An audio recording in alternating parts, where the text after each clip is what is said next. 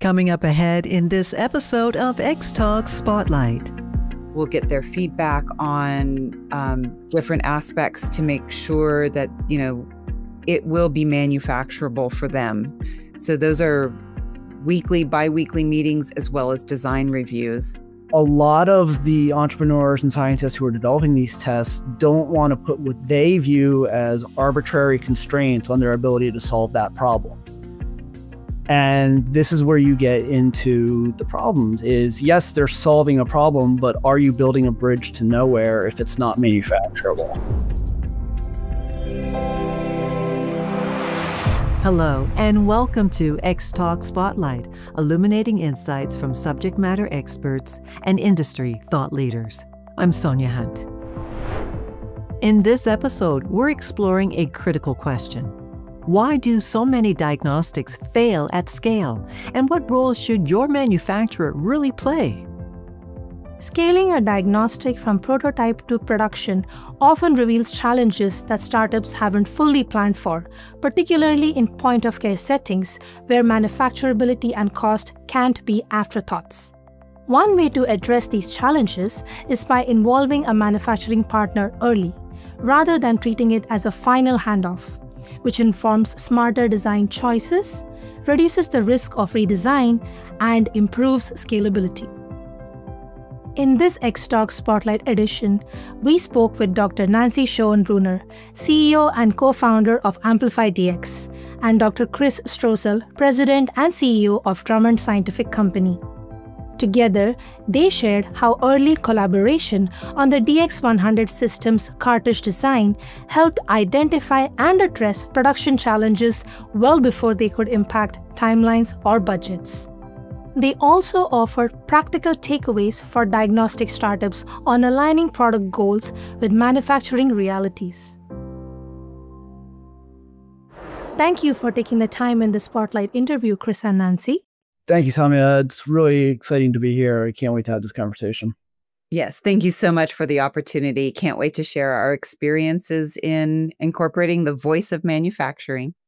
So, to start off, I have a two part question about when and why AmplifiDx decided to bring a manufacturing partner into the development process for the DX100 system. Chris, I'll start with you first. Why did Drummond decide to work with Amplify?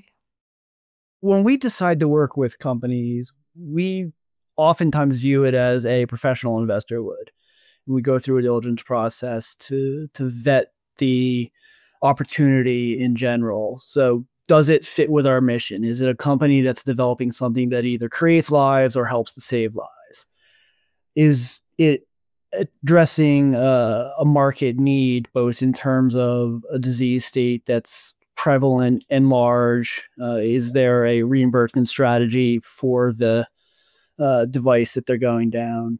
Uh, you know, the, the, typical diligence questions that you would get from an angel group or a, a venture investor to make sure that it's ultimately worth our effort to help them scale. Once we get through that and we check all those boxes, then it comes down to who's the person? Is it someone we want to work with? And, and certainly Nancy checks those boxes in huge ways. She's uh, well renowned in her her career and her experience developing diagnostic technology. She has that uh, gravitas behind her. Uh, but more importantly, she's just a wonderful work, person to work with, and, and we fully enjoy uh, everything we do with them. And Nancy, what drove Amplify to work with Drummond as a manufacturer so early? Well, it comes down to very similar uh, capabilities, uh, willingness, like the the um, attitude and Drummond, especially, you know, they have this unique venture manufacturing um, uh, philosophy, and that that's very unique in amongst contract manufacturers. Uh, capability wise, I know that the engineering team there is top notch. Um, they have the the capability uh, it wasn't all completely built out. So I knew we were going to be going on this journey together because sometimes there's contract manufacturers that say, oh, yeah, we've done this so many times, we know exactly what to do. and then they're going to guide you down a certain pathway in your design that will fit with their processes. And I, I didn't want to do that. Um, we wanted to have um, some freedom of design space um, on both the performance and the manufacturability, and also the people. Drummond is uh, great to work with. We just have a lot of fun. Now, Nancy, since the partnership, how have Amplify and Drummond worked together during the design of the cartridge? What does that collaboration look like in practice? And do you have any specific examples that you would like to share? So, there's two parts to that. One is just logistics, and the other is design input. On the logistics side, we meet regularly depending on how intense the phase is. It could be weekly, it could be biweekly, monthly if things are a little slow, just to make sure that we can get cartridges that are well made by by Drummond for important field studies or clinical studies. But more importantly on the design aspect, so we we have we as we've iterated on the design of the DX100 cartridge uh, we'll have we'll include Drummond in our design reviews. We'll get their feedback on um, different aspects to make sure that you know it will be manufacturable for them. So those are weekly, biweekly meetings as well as design reviews.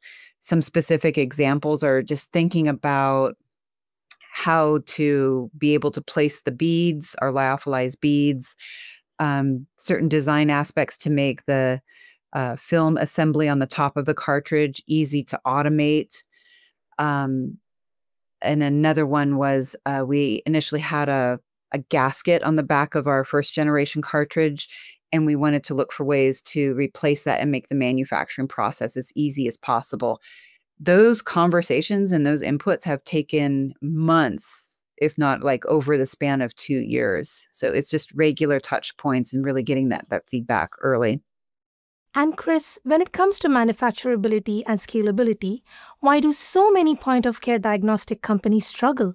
And how are you approaching that differently?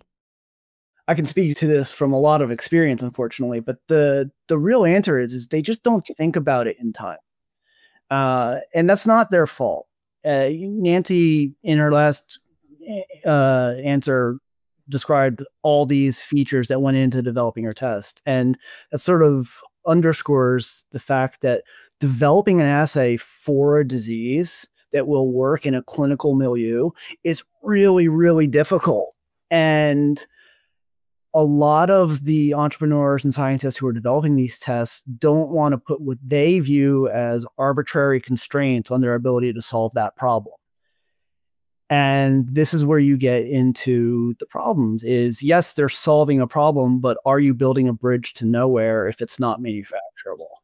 So our view is that we need to take a little bit of the risk, engage with uh, our partners as early as possible. And I'm talking about the second that they have the, the chemistry done and are starting to design the enclosures that will encapsulate that test to help them make sure that decisions that they're making with respect to what the cartridge looked like, how it uh, is put together, is done with the idea of making hundreds of thousands of these a month, millions of these a month. Because the reality is, if you can't do that, you don't have a viable product.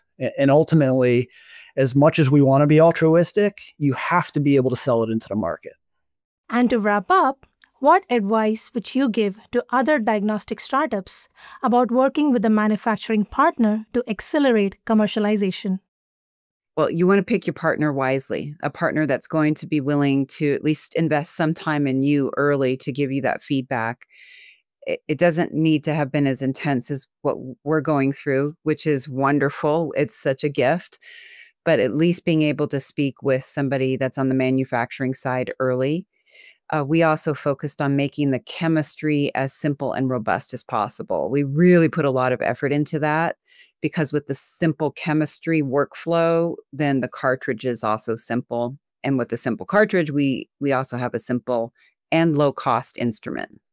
And I would echo that. One of the things that Amplify and Nancy have done you know, over the course of the time we've working for has gone from a very unmanufacturable chemistry to one that becomes much more simple with respect to what we are going to have to do to build out the the capabilities to manufacture it at scale uh, without sacrificing performance and, and that ultimately is what's going to lead to a successful product well, thank you very much, Chris and Nancy, for speaking with us today.